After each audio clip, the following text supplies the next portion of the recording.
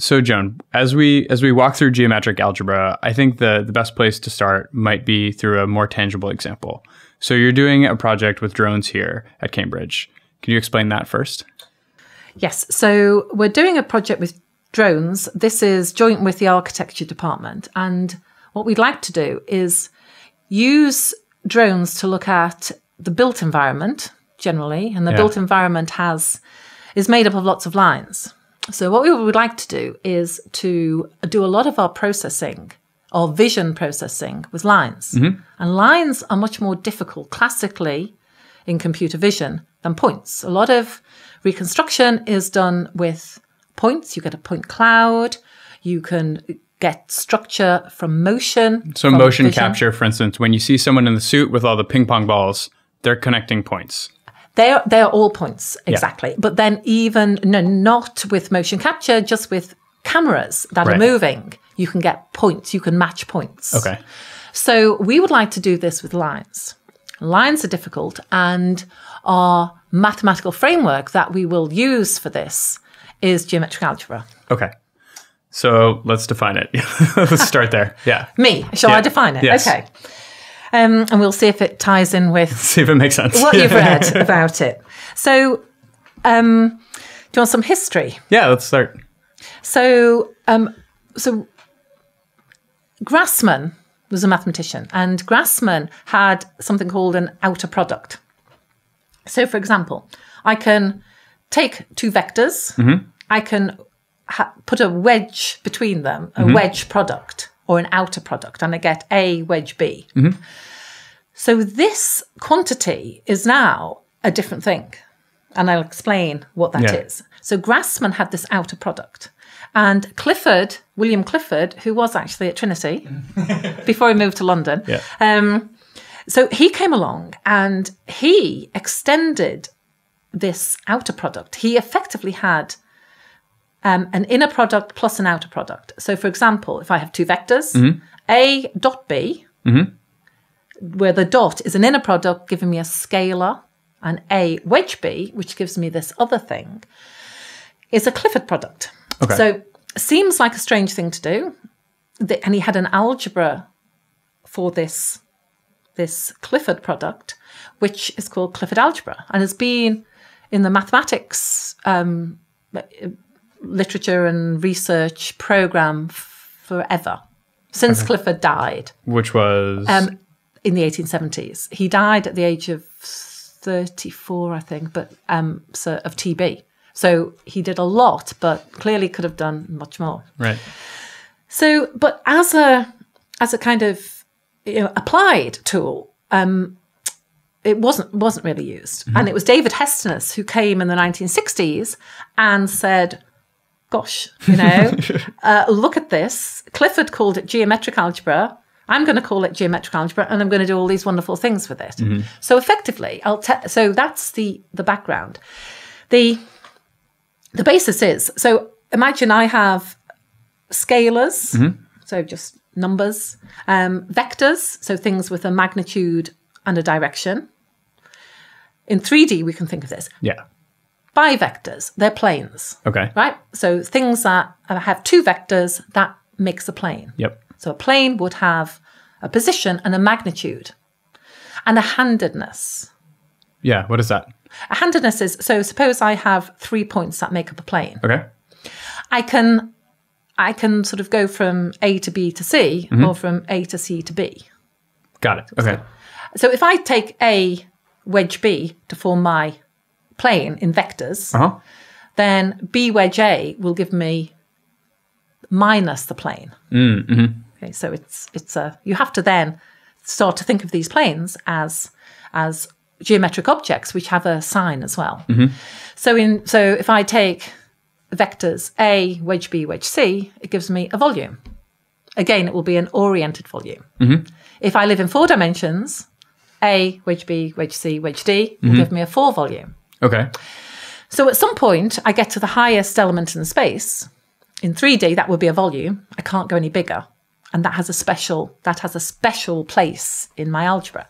So imagine I have in 3D scalars plus vectors plus bivectors plus trivectors. So points, lines, planes, volumes. I have an algebra which takes these things as objects mm-hmm. and I can add them, I can multiply them, I can differentiate with respect to them. So it's a kind of abstract concept, but it is amazingly powerful. Okay. So that's that's the the kind of rough idea of Right. How Clifford algebra moved to geometric algebra in the modern and, and this is all predating computers, so this isn't being rendered anywhere yet. you mean in hardware. Yeah. Uh, so uh, we have we have a community, not a, a massive community, but there are lots of um, people who are very interested in in uh, you know potentially getting instructions for uh, chipsets, etc. FPGA is it is. okay. So, and of course, we have quite a lot of um, programs that people have been building so that the community can test these things out. And so what rekindled it in the 60s to make to make it happen now? Um, so, David Hestenes was doing his PhD, and he was a, a physicist and looking at space time. So basically, his his PhD turned into a book called Space Time Algebra, from which basically in the 80s people got hold of and started to get interested in. Even though David had been working on it throughout since the 60s. Um, what started David on the Clifford algebra? I am actually not quite sure. Okay. I'll ask him. yeah. okay. and, and then so But yeah. you mean, you mean why? So, but the, he very quickly realized that um, this algebra simplified a lot of space time physics. Right. So that's kind of what I wanted to get at. It's like, Sorry, why? Yeah. no, Yeah. What was the realization that made it like, why is this important now? Why is this important? So, in effect, um, um, space time physics, um, quantum physics, relativity is extremely complicated and is, you know, i it's the area where, where you do have to have a lot of background knowledge mm-hmm. and a lot of background mathematical knowledge. Mm-hmm. You do need to be proficient in for example, for general re- relativity, you need differential geometry. You need a lot of these mathematical systems. You need a lot of tensor analysis. So, I mean, David could see that with this algebra, he could work entirely within an algebra of geometric objects, transformations between these objects. Everything stayed in the algebra. Transformations, like linear transformations, functions, um, were um, geometrically intuitive. There were mappings of objects to objects. They weren't just tensors. Um, we didn't have to go to another space, you know, a, a sort of dual space, as you do in differential geometry. So um, things became the easy, and he started to see that you could interpret a lot of things like Dirac matrices. Well, actually, they're not matrices at all. They were, you know, elements of the algebra, and immediately they became easy to deal with. So his big um, motivation was that here was a unifying language for mathematics and physics, basically. So if you know this language, you can not only do um, rigid body dynamics in engineering and classical mechanics, you can do um, linear algebra without matrices and without tensors, and you can do complex things in um, quantum space-time physics with the same mathematical system. And this is not theorized. This is proven at this Oh, point. yeah, it, yeah. it's all good. Yeah, it's all just to clarify Oh, yeah, for yeah, yeah, everyone. it's all good. Yeah, yeah, yeah. Absolutely, yeah. It's not like this It's idea that maybe this might work someday. No, right. but the part of the problem is that we all. I mean, you, you might. You, your next question might be, well, if it's so wonderful, well, why doesn't everyone use it? right. Um, so, A, Clifford died when he was 34, and it was at the point where Gibbs, Heaviside, came in and uh, produced vector algebra and the cross product. And so, have you ever thought about the cross product? Nope. so, so if I have two vectors and I take A cross B, it gives me the vector which is perpendicular to the plane, effectively. Mm-hmm. Now, that's all very nice, but it only works in 3D. It doesn't work in any other dimension. Right? Because in a plane, Right, so I've you're- got no you're stuck. perpendicular. Right. You're stuck. In Okay. four dimensions, there's no concept of a perpendicular to a plane. Okay. So, but but of course, we all grow up with vector calculus, linear algebra, and matrices, and you know, then we have our research areas, and it's very difficult to actually to listen to somebody if they come along and say, "I've got this super duper new mathematical system that you ought to." You know, take notice of. Yeah, yeah, yeah. It would say if someone comes up to me and says, "Look at this," you know, I will say, "Well, you know, I've got my own research, and it takes me all my time to, you know, Okay. do what I'm doing." Okay. And so what planted the seed in you that you wanted to follow this path? Um. So, do you want the truth? Sure. Yeah, that was the goal. Yeah. Okay. So, the truth is, my husband um, met David Hestenes uh, Anthony um, Lasenby. He he became fairly obsessed with geometric algebra. He is a cosmologist. He could see that there was this thing which told him what the Cauchy-Riemann equations are, if you, yeah, for people who know it, um, that the Pauli matrices and the Dirac matrices in in space-time quantum physics were just you know, really interpretable. Um, he became obsessed with it, totally obsessed. Um, so Anthony had a PhD student called Chris Doran. Chris and Anthony, they wrote, they've written a book on on geometric algebra, geometric algebra, for physicists, and it was very difficult for me to actually um, talk to my husband uh, at that point without actually finding out something about it Okay. because he thought it was one of the um, most exciting things he'd ever seen. And you were at the time just pursuing math, a PhD. What were you? I was pregnant at the time. Okay. So I was just about to have a baby. Okay. so I did have some time actually, Yeah. because I was, you know, not that much time, of course, when you've got a small child. Yeah. But yeah, I was, and I was, I'd gone back as an engineer. I was a postdoc Uh-huh. in engineering. I was doing imaging. I was imaging flames. Um, that was a, a, a two two year postdoc position. But I actually then began to realize that these this algebra um, would be really useful in parts of engineering, particularly things which involved rotations. And maybe I should talk about rotations because in engineering and physics, rotation, the way geometric algebra deals with rotations is totally key. So, have you heard of quaternions? I've heard of them. Yeah. So quaternions are well, if we go back, people rotate with rotation matrices. So Yeah. you have, say, in three by in three dimensions, you have a three by three matrix. You act on a vector and it rotates it. Now, a rotation has just three degrees of freedom.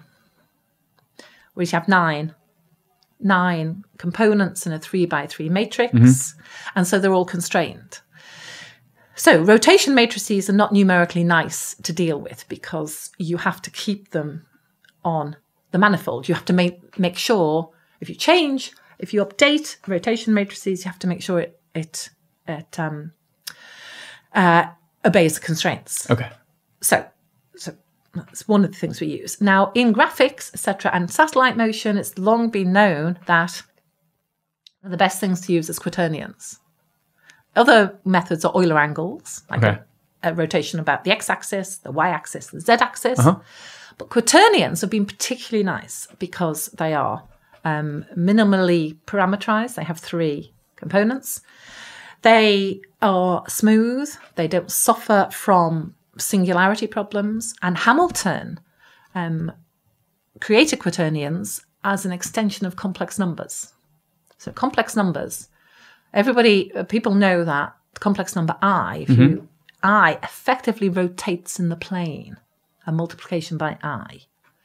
So Hamilton spent many, many years in his later life ex- trying to extend complex numbers to three dimensions. And he came up with quaternions. So quaternions have these elements i, j, k, which all square to minus one. So it has like 3 um, imaginaries. So, you know, to start with, that's pretty awful.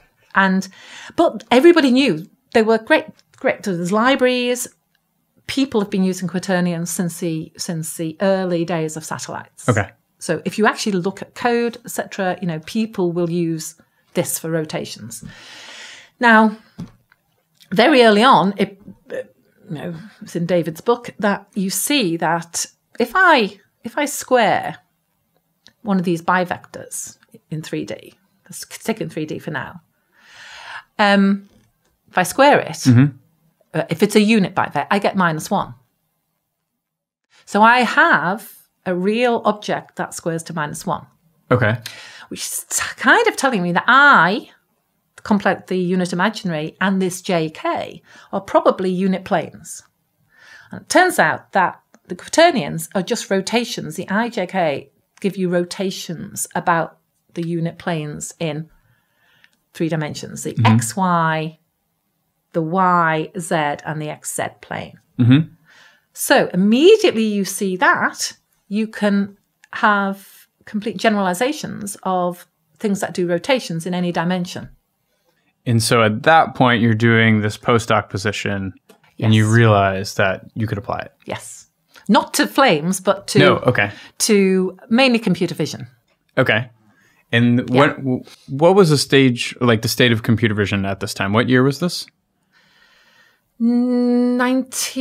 93, 1993. Okay. So, not much happening. So, yeah, but a lot of the, you know, it was it was um, really starting to move forward. There was no machine learning in computer vision that, No. but it was all geometry. It was Right, okay. basically all geometry. So people had used project well, you know, people had been using the ideas of projective geometry in computer vision for a long time, which is a four dimensional Okay. space. Um, still with matrices. So I rotate and translate things. So I have lots of cameras. I want to find from my images the rotations and translations between my cameras. Once I've done that, I can triangulate and I can do 3D reconstruction. Okay. There was also at that stage a lot of Bayesian statistics were coming into computer vision, so tracking things in in images Yeah. and finding most probable the most probable tracks in Right. in um, you know crowds. Okay. like that. So computer vision was really starting to take off. Okay. And so you you're you finish up your two year. You're creating these flames, these graphics, essentially. Yeah. Uh, what do you jump into to actually give it a go? So I was extremely lucky because that by that point I had two small children. Um, I I don't know if you heard the Royal Society No. in well, you, the Royal Society, um, the body in London. Oh. Okay. Yeah, so you probably you probably have because it's it has um, journals and lots of you know historical people with big names in history um, yeah. were fellows of the Royal Society. So the Royal Society has something called University Research Fellows, and I applied to do it was probably quite a step for them because I probably I applied to do applications of geometric algebra in engineering and they gave it to me. So I then had a five year, effectively postdoc, and I could choose what teaching I did. And the engineering department were very good. You know, I, I didn't didn't need to do a lot of teaching or admin, but I basically had um, kind of five years to try and get this off the ground. To kind of figure it out. And what? Yeah. Yeah. what was an example of an early project? So, um, so an early project was uh, actually with um, i i i think at the time, I mean, the internet wasn't really like it, Right, quite course. like it was Yeah. today. Um, but there was uh, some mailing lists, and there was uh, um, somebody who called Eduardo Bayro Corrochano, who's now in Mexico. But he put this email out on some lists saying anybody working with computer vision and geometric algebra. I thought, you know. so I actually, you know, contacted him, and those early days, we we did quite a lot of translating all the classic projective geometry computer vision, which was quite mathematical at the time, um, into geometric algebra. Gotcha. Okay. And I mean, this may sound kind of basic, but one of the really nice things about putting putting your problem, etc., into geometric algebra is you have an origin in, in so some inertial frame. Everything is with respect to that. So I rotate, translate that. Right. I don't have matrices, so I don't have to worry about coordinate systems. I don't stack up coordinate system upon coordinate system and then worry about what on earth that translation it vector, relates, yeah. what, con- what coordinate system is that in? Yeah. And with vision, where you're measuring things in an image, Uh-huh. can- and that, so what coordinate frame is that in? Yeah. You know, it's it is quite, quite confusing, and I know this for a fact because students are very confused about it all. when you've got a rotation, where's it with respect to in these complicated systems, etc. This just makes life very very easy, Okay. and you you almost can't go wrong. And was the goal of this five year period to then apply it to some like uh, product use or just do the basic research and see how it goes? What, what, Yes. what happened? At that time, uh, it was um, just really seeing what we could get out of it. Okay. So I did some work with a company called PhaseSpace, who's a mo- uh, they're a motion capture company in the states, not far from Berkeley, and you know looking at algorithms to calibrate cameras because one of the things I haven't mentioned is um, that there is another aspect to this system which is extremely useful. So I've said that I have these geometric objects. My rotations are objects, so I can write down coordinate free expressions. But not only can I write them down, I can differentiate with respect to them easily. Okay. So because I have this algebra of objects, Yeah. I can do calculus on them. Okay. And that's quite hard to do conventionally because you've got people can do it, but you know, you're differentiating with respect to a matrix or a tensor or a vector, all this. So it's a much harder um you can do it component wise, but if I want to get closed form solutions, um, doing kind of the analytic stage of the calculus is extremely useful. And so the the notion was that you could do it with less compute, like you could render these things using geometric algebra No. faster. No. Never. Okay. but but so you can do it pretty fast. It's more, uh, it's much easier to program up. Okay. It's intuitive. You can think of what you want to do, and I can program it up at kind of this high level. Yeah. Underlying, you've got an algebra of a much bigger algebra than three dimensional space where I've got Right, three of course. vectors. So actually, computationally, more going on. There's more going on. Okay. Yeah, but at a higher level, you know, I can I can get code to do all this for me, and at a higher level, Yeah. I can certainly write rotate this object to this object, Okay. etc. And then in terms of the, like the state of computer vision from then until now, what has progressed to make this this drone project possible? Okay, so this is an interesting question. Um, so David Hestenes and Garret Sobczyk uh, wrote a book. Um, this is a sort of um, real reference book of Clifford algebra to geometric calculus. Yeah. It's got everything in there. It's not a book you'd read. It's a book. It's a book that you go to It's find like a out. reference. It's a yeah. reference. book. Yeah. I'm sure they meant it for you to read. yeah.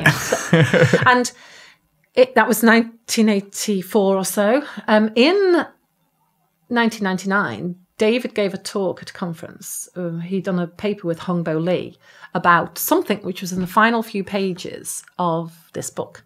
Of course, not many of us had ever got to the final few pages of this book, which he called conformal geometric algebra. So this is truly stunning for graphics and for visiony projects projects which use vision. So conformal geometric algebra is a five-dimensional space. So imagine you take Euclidean space, the space we live in, you effectively add on two more vectors. One is the origin and one is a point at infinity. Projective geometry effectively adds on one more vector.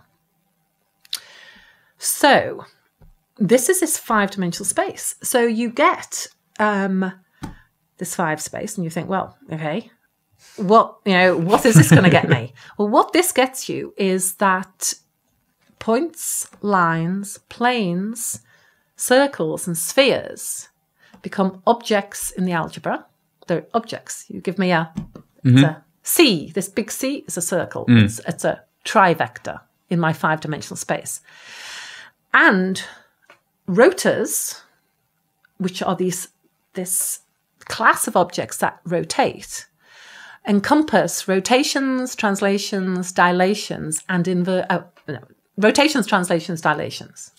So you've suddenly got I I can for, for example set up. You give me three points. I immediately get the circle that join that passes through. You give me four points. I give you the sphere. It's an object. I use my rotor. I rotate it. I intersect them. It's a it's a beautiful language for graphics. Mm, okay. So, but because and a lot, a lot from 1999, lots of people, well, fair number of Relative people, to yeah. um, Leo Dorst and Stephen Mann and Daniel Fontijne um, in Steve in Canada, um, Leo et al. in Amsterdam, um, wrote a book, Geometrical Algebra for Computer Scientists. And a lot of that was based on this conformal, just what you could do, Yeah. you know, just how easy it was to do things. So, um, because lines are just objects, because I know how to sort of compare one line to another, uh, because I can intersect lines and planes, keeping this nice algebra, um, you know, it becomes quite almost easy to see what I have to do to implement a variety of algorithms. So you've, I mean, it's quite hard to intersect two spheres. Well, mm-hmm. You know, I mean, people can do it, but in the it's easy to imagine how it works. But yeah, for yeah. yeah, but you know, you've got equations, but here we just do have operators that do it with between objects. Mm-hmm. And one of the beautiful things is, and we live in a Euclidean, well, to all extents and purposes, you know, from what we see, it's Yeah. Euclidean. Now, if you have a different underlying geometry, Yeah. so if you have um, hyperbolic or spherical geometry, uh, then in this algebra, you have to change. You ha- in conformal algebra, Euclidean geometry is the thing that keeps the point at infinity invariant. Then, if I keep other things invariant, I get these other geometries, and I can just use my standard apparatus and do exactly the same things. Rotates, rotate my objects in um, hyperbolic space and rotate my objects in spherical space, move them around. So it is uh, it's a beautiful language for geometry, Okay. and I haven't even touched on physics because a lot of you know um, de Sitter space, which Okay. a lot of the cosmologists work in, is a different geometry, Okay. Gotcha. which you can use this for. Right. Well, which is why it was appealing to your husband 30 years ago. Now. So Oh, yeah. exactly. So he, you know, he started out by being amazed at how um, things like Pauli and the Dirac matrices, spinors were all just trivial in this algebra. And then he started to realize um, that these complicated transformations, tense, which are all written in tensor notation, are actually, if you put them in geometric algebra, they are mappings between real things like bivectors to bivectors or bivectors to vectors and things like this. And as soon as you see it in this way, it be, enables you to sort of you know interpret things and then maybe move move on. okay. And um, so, for example, um, so Anthony and Steve Gull, Chris Doran, and David Hestenes are interested in, in a theory of gravity in flat space, which produces all. So, you know, their theory of gravity you could understand okay. if you understood the algebra, yeah. basically. Okay, gotcha. Um, and so, the as you were saying before, like the reason why people aren't picking up geometric algebra is that you become kind of in a certain track, and that you know what you know. But but right now, what are people using for modern computer vision to do comparable work? Um, so, computer vision is um, really massively advanced. You know, Of course, yeah. So uh, today, so people are really now moving from geometry to um, machine learning. You know, so you use uh, using a little bit of geometry, but you are learning to segment things, recognize things by giving it lots and lots of images. But you know, you still have you we still have lots of geometric problems. Mm-hmm. So we still have to extract things from images if we've got moving cameras Yeah. and things like that. But we have I suppose it's a case of geometric algebra won't really give you anything that you can't do conventionally. Mm-hmm. But what it might enable you to do is to see how how to do that thing. So, for example, if I hmm. ask you how close is one line to another, mm-hmm. I have a way of doing that in my algebra. Mm-hmm. If I could, I could sit down and write it in conventional. Oh, of course. Yeah. So, but but could I have actually thought of that conventionally? Uh, probably not Okay. because I'm not clever enough. Yeah. So okay, so you know, I I need I need a set of tools which makes sense to me geometrically and physically, and I can then th- think. Oh, me and uh, you know other people can Of course, yeah. think about how to extend that. Okay. And so in, in your day to day research, how are you then applying machine learning? Because yeah, many of your, your PhD students are working on exactly that. Okay, right? so um, it's it's almost impossible n- to avoid machine learning. yeah, yeah. No, you can Yeah. try, but you can't avoid it. So I have I have two um, uh, sort of strands. So some students are applying conventional machine learning techniques. Uh-huh. Well, conventional, you know, they they change all the time. Neural networks, um, recurrent neural networks, LSTMs, to classical data like um, medical time series data, and I, I I don't know how you can use geometric algebra for that. Right. Okay, so, um, and you know, doing image segmentation, etc. So classical image segmentation. mm, Well, you know, um, I'm not sure how you can get geometrical algebra into that. But as soon as it comes to anything involving like a moving camera, moving drone, multiple moving cameras, having streams of images, you want to match things, you want to triangulate, etc. Then it is almost the only way I know how to do it. Okay. gotcha. So so it's that aspect of it. And then can we extend it? So can we then, you know, we know how how to parameterize in this algebra on my lines, my planes, etc. Can I learn them? Hmm. So can I learn these geometric objects? So we we're keen on analyzing both sort of moving images, which we ex- we're going to extract lines, planes, and also motion. So motion, can I actually parameterize my problem in terms of my geometric objects and learn them? Okay. And so, for instance, like, you know, someone doing computer vision with a self driving car, like, are they applying the same techniques that you're applying to get these lines, or what would they use? I think um, no. So so uh, so you know, there's huge amounts of research. Yeah, yeah, of self-driving course. cars, Yeah. and who knows what they're doing. Um, but primarily, it's um, people are using. If it's not li- if it's not lidar, Right. Yeah. you know, it's single camera, multiple camera, uh, lots of data, yeah. Bayesian methods for segmentation. Following lines is easy. You know, it's not that's not matching them or trying to reconstruct them. You're just kind of following them. It's really recognizing um, if it's a person, if it's a road, if it's a tree, and and you've got multiple sensors, so you know exactly where you are. GPS is right. is really accurate these days.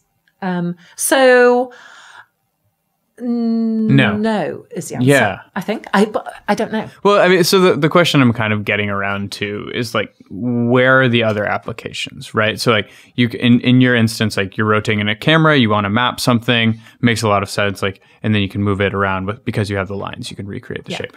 Um, what are the other use cases? Well, you know, I do think that its real use is this the fact that it unifies. It's a unifying language.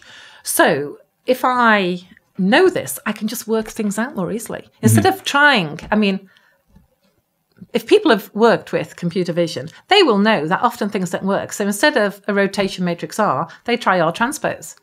And instead of a translation vector T, they try R transpose T. And they mess around until it works because it's kind of confusing. Okay. Um, you've got no such problem here. It's very straightforward. Now, okay, that's not that's not a, a good reason to use it if you're proficient enough with classical techniques. But I I can go into fields like thin shell elasticity. You know, and um, there is a student who uh, is here at the moment doing this. That is quite an involved field. But if we put it in terms of like, I have these rotors, I have a surface, I can stretch them, I can translate them, then it's just in the language of computer vision. It's not in differential geometry. It's not in anything else. It's it's a totally understandable um, uh, process. Right. Okay. So you could you could see a world where then you know uh, an artificial intelligence understands this and then can apply it anywhere, and then you can then understand it. I yeah. Yeah, I think that's where its strength lies. Yeah. And in and in new physics. Oh, I, I okay. think I think you know that because it unifies lots of Hmm. different um, quantum mechanics and relativity, and you know it hasn't. Uh, it's not. It's not unifying quantum gravity yet, yet, but yeah. you can see that it's a. It is a a system whereby you might be able to think of different ways forward. Right. Okay. So it's actually a better tool. better tool. In tool. many- It's a better tool. okay. Because people are extremely clever. So they will find ways of doing things Hmm. that are stunningly clever, Hmm. but um, are complicated. Right. And so, wh- where do you see limits right now? I think it, I, I don't think it's it's not computational anymore because we're building up more and more tools. So I can Yeah. I can give you a, a website and you know you can try it out Yeah. and you won't have to install anything because it's an online you know Yeah. Python notebook. So you can you can have a, a play with it. So we are you know we are a community which is certainly moving forward. Hmm. Um, there still isn't there aren't a lot of us. Um, so it's not taught. It's not taught. So, you know, teach my fourth year's image processing, but I don't teach them geometric algebra. Okay.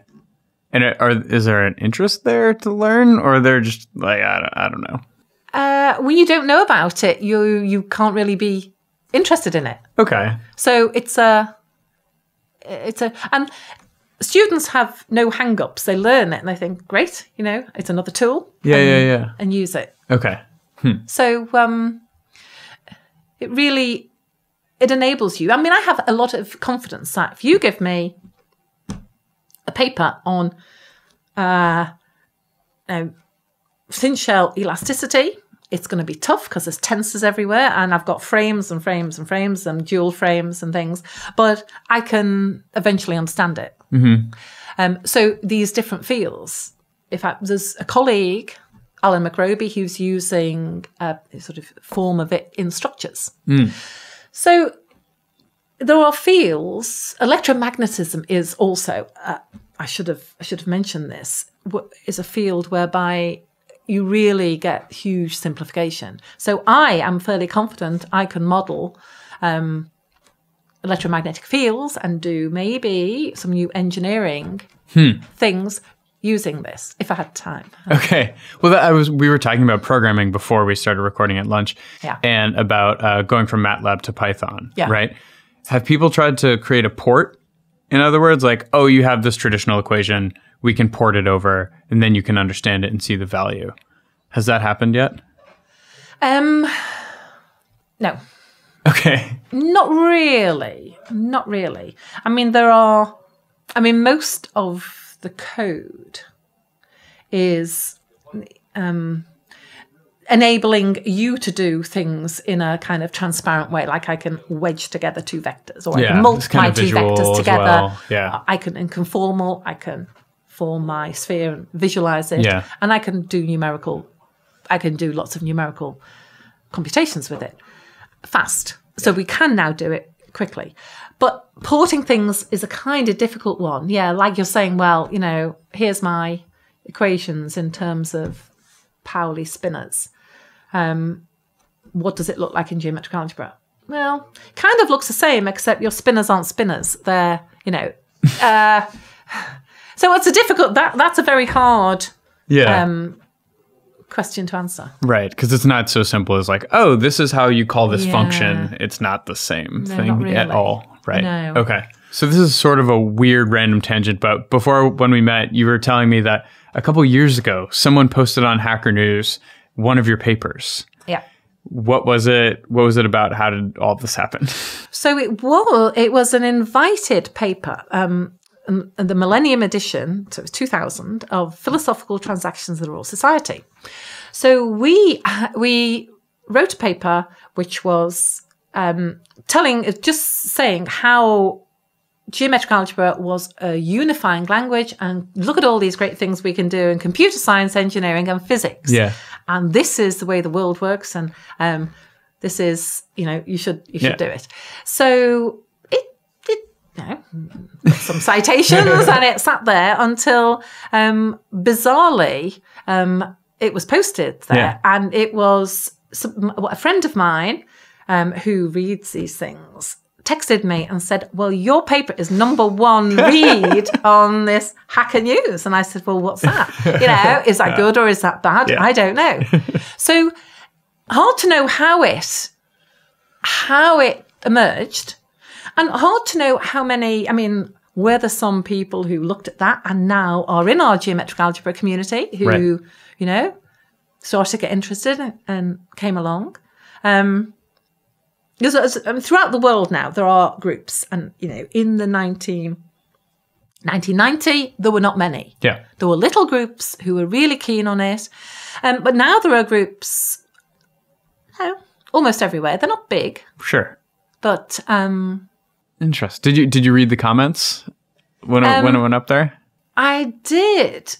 Yeah. I mean, they range from, wow, this looks really cool, uh, to, this looks crazy, you know, uh, and impossible to understand. We, you know, I thought, oh no, that doesn't, you know, that wasn't the, We're not trying to communicate that. I know, I know, we didn't want to say that. To, gosh, this looks as though it can do everything, you know. So it, Right. they weren't they weren't very detailed. It was Okay. more people beaming in and saying, um, doing short things. Although I don't know whether I read them all Uh, that's the nature of the internet. You have to comment quickly. The Yeah, post just falls off the front page, and then your comments because of course, yeah. In the next five hours, it was probably yeah. uh, gone, right. Exactly. sunk down to a hundred. Right. But but um, what what do the folks who are are there naysayers? Is that a community? Sorry, what? Are there naysayers of geometric algebra? Uh, like like, oh, uh, this is sorry. not going to be a thing. Yeah. Um. Um. I, I wouldn't say so. I mean, there are people who Yeah. there are lots of people who think, yeah, that looks interesting, but really, I can do it anyway. You Yeah. know, and I have. I am. I am the world's expert in you know Pauli matrices or whatever. Yep. Why do I need to put my matrix in terms of a vector? Um, and so you know, people think in different ways. Um, to them, that is the way of doing it. That's always been the way of doing it. Um, so I don't think there are people who say, "Oh, this is complete rubbish." There are just people who say, "Well, yeah, but you know, what's it going to get me?" Okay. Um, and I don't think people. It's not the kind of thing where you could say it's wrong because it's not wrong. Right. It's just a, a tool which Yeah. you know depends whether you want to invest the time because you think about multiplying vectors together and and things like this. Yeah. It's it's anti-commutative. It's not a commutative algebra. So immediately you throw away everything you've learned Mm-hmm. as a kid and through school and through university. So it it makes perfect sense once you're into it. But there's a little, you know, Mm-hmm. There's a little hump. That It's a you have- learning curve. Yeah. There's a learning You have to throw some things away. Yeah. And it's much easier for younger people to do that Sure. That makes sense. because they have no real prejudices. Right. Okay. They they say, yeah, it's another another thing. You know, it's like machine learning. Oh, yeah, another algorithm. I'll program it up now. You know, Right. Um, and so yeah, I don't. I think probably there are people who, who do think, well, why should I bother? Mm-hmm. Um, but I don't think they would say, no, it's a wrong thing to do. You know, one shouldn't do that. One should use matrices and Okay. So, it, in your, you know, educated opinion, where do you see this really taking hold in the next i don't know like for thinking about it in, in the practical sense um, so many people who are listening to yc podcasts are like entrepreneurs or engineers or studying um, where do you see people applying things like this? Um, so um, clearly in the f- in, in the fields of um, fundamental theoretical advances. So you know like physics um, or uh, the aspects of physics that we're not quite sure about. Yeah. That's a big, um, that's I th- where I see it will have some effect. Um, because it enables you to think and it enables you to think in different ways. Um, in engineering, I think there are lots of fields and I don't know whether there'd be is there a killer application where if I could do it, everyone would say, Whoa, this is the way to go. right I don't know. Um, as I say, I, I, I would, what I would like to see is that people, people had it in their toolbox yeah because, um, you know, there are lots of very, very clever people around who can cope with very hard, sophisticated physics and maths. There are a lot of people who are maybe not quite so clever and they need the right tools in order to do these complex things. And I see it as actually this provides these people with a real, you know, a lot of people have a lot of geometric insight, but maybe not the mathematical sophistication. and I think this would certainly sort of give them um, a big advantage um, because it seems to me to be the way the world works. This, if it's a unifying language, it's what we should be writing Yeah. our equations in. okay Um, so I'm not Yeah. sure that's answered your question. Yeah, no, that's a but- great. That's actually a great answer. Yeah, I believe that, and I, I like it a lot too. Um, if you weren't working on this, do you have thoughts on where you might apply your your energy? Well, it's interesting because I have always had. I'm I'm a runner, Mhm. so I've been a runner since I was a kid. I I am absolutely convinced that even if you don't run, you know, as you get older, you need to move. And you need to keep your body moving independently. You need to make the muscles move independently. You need to keep healthy. And I I probably would be doing something which tried to get everybody out and Oh. moving. And isn't that that was not what you were expecting? No, was it? that's great. Yeah. yeah, But, you know, I look at people and as they get older and life could be so much better for them if they kept mobile and they, they looked after their body. A slight obsession of mine, but anyway, yeah. yeah. No, that's great. that's, that's totally awesome. Yeah. I guess then my last question is: uh, if someone wants to learn more about this and actually start trying it out, Yeah. uh, where should they go? Well, so lots of uh, books available, and I, I, pr- people will probably be annoyed with me if I don't mention their books. But the so the the David Hestenes has three books: Space Time Algebra, probably not the place to start. New Foundations of Classical Mechanics and Geometric Algebra. Um, Clifford Algebra to Geometric Calculus. Now they they're great books um, my husband Anthony and Chris Doran have a book, Geometric Algebra Physicists. Leo Dorst, Stephen Mann, and um, Daniel Fontijne have a book which is Geometric Algebra for Computer Scientists.